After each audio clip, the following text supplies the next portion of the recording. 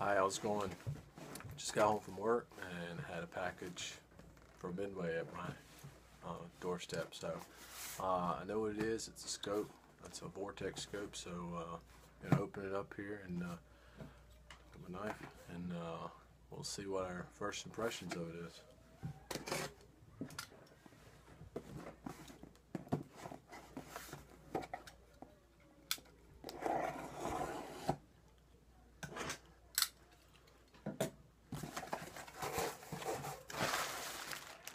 Favorite bubble wrap.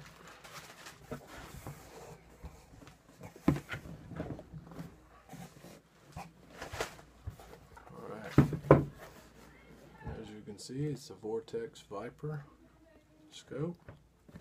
Uh, this is going to be the six and a half by 20 model, as you can see there.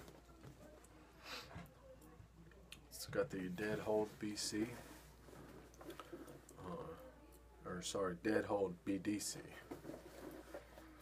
We have our Vortex warranty. As most anybody knows, it's Baltimore, Texas, you know, and best in the business. You almost, I mean, you really can't beat the warranty. So, uh, some other paperwork here.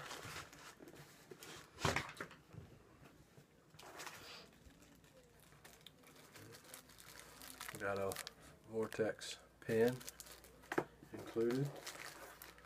Uh, looks like a, a cloth of some sort, maybe. I know everybody wants me to just look at the scope. I gotta keep you in suspense for a little bit.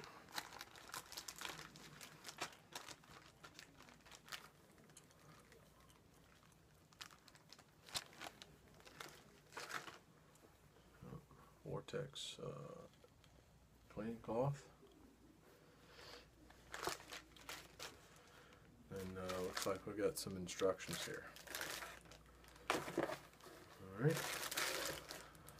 So, package here.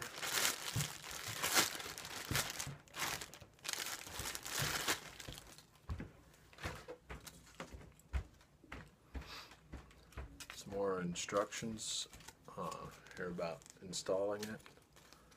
Uh, properly mount your rifle scope. We highly recommend using a inch pound torque screwdriver. Do not exceed 18 inch pounds of torque on the ring screws. All right, we'll take our lens cap here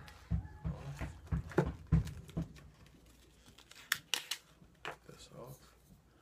The first thing I can tell is this thing seems to be built like a tank. I mean, it's it seems to be pretty heavy.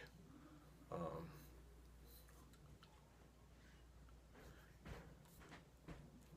See, we're on uh, six and a half power right there.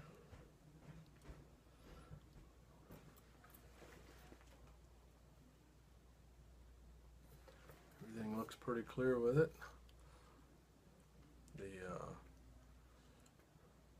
parallax adjustment on the side is nice and smooth. It's not a it's not a stiff turning at all.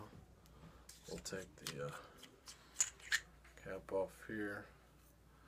We'll see. Clicks are very crisp. You can probably hear them. It's a very crisp click.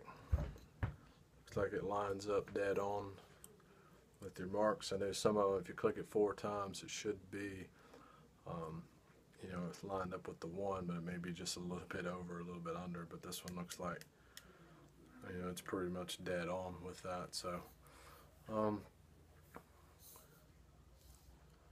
this is, I will say, this is my first uh, Vortex scope.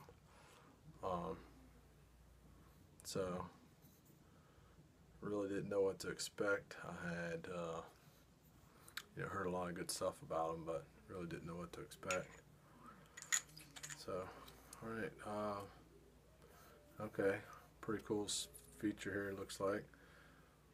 Yeah. So if um, I don't know if you can, if you can see this at all. Say if um, right here on one and I need to go back to zero to set, reset my zero. I follow these instructions on top of it here. I pull this up and spin it and then I'll lock back down in place. Real easy to reset your turrets. That uh, that's a pretty handy little feature there that uh, you know if you're at the range and sighting it in and don't have a screwdriver or a little tiny Allen set that most of these things take to be able to reset. It's very easy to reset. It's a nice little feature there. Um, yeah I mean it looks like a uh, looks like it's gonna be a good scope. Uh, the glass seems pretty clear. Now granted I'm only looking 50 yards or so out the basement window but it looks really clear. Uh, seems like it's pretty nice built scope. So I got this one on obviously I showed you the box. I got it on Midway. Uh, they had them for a pretty good price. They were I guess a closeout on this particular model. Um, and got it for about a hundred dollars less than what it would normally go for see if we can't give the right, well, you can see return the power adjustment there. It is you know a little stiff but as you can see here it has an indication indication mark of the power on it that you turn. It tells you what power you're on. So all in all looks like it's uh, going to be a good scope alright thanks for watching